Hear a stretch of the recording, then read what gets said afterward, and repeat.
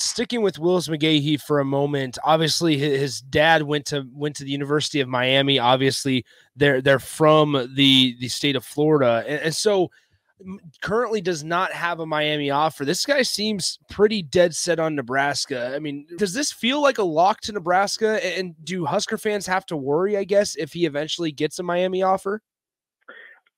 I think that this feels really good for Nebraska. Um, I drove into to Lincoln on Saturday night to meet with recruits, and I was supposed to meet up with Willis. And Willis called me and said, I'm over at the dorms. I'm hanging out with a bunch of the players right mm-hmm. now. I can walk over and find you wherever you are. I absolutely said, forget it, kid. You're you're you're you're into your element already, and it was so fantastic to kind of hear, you know, him being absorbed into the team already. I mean, he's he's got former high school players that are already on the team. You know, with Corey Collier and Dwight Bootle. Mm-hmm.